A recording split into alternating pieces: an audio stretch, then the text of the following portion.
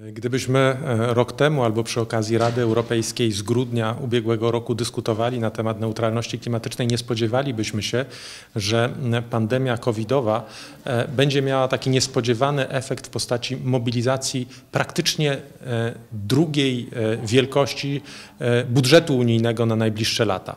Ale ten fundusz, bo Krajowy Plan Odbudowy będzie pewnym instrumentem wydatkowania tych środków, ten fundusz musi być wydany szybko, dlatego że jego celem jest ożywienie gospodarki po COVID-zie i jest bardzo znaczący i tak jak Pan wspomniał, bardzo dużą jego część e, e,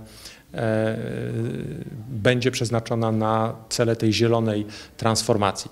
Dla nas to jest ogromna szansa, dlatego że jeżeli przedstawimy mądre, dobre, produktywne projekty, które tworzą nowe szanse dla regionów, które będą szczególnie dotknięte, narażone na konsekwencje utraty miejsc pracy, stworzymy nowe, dobre miejsca pracy, to możemy ten bilans w sposób znaczący zmienić na korzyść.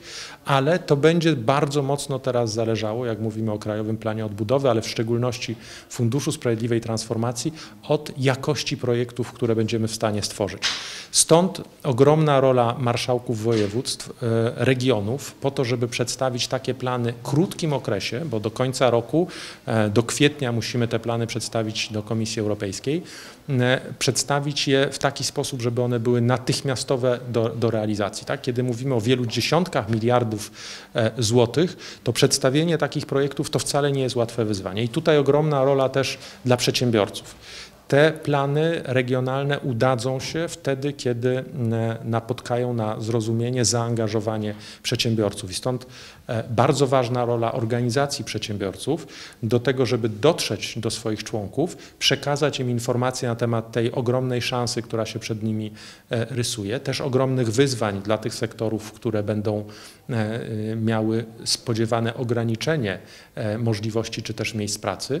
Im szybciej podejmiemy teraz to wyzwanie, im szybciej będziemy w stanie dobrze e, przeznaczyć te środki, e, te 40, nawet 40%, e, o których Pan redaktor wspomniał, tym lepiej nasza gospodarka i nasze społeczeństwo przez ten okres i post-covidowy, i transformacji energetyczno-klimatycznej przejdzie.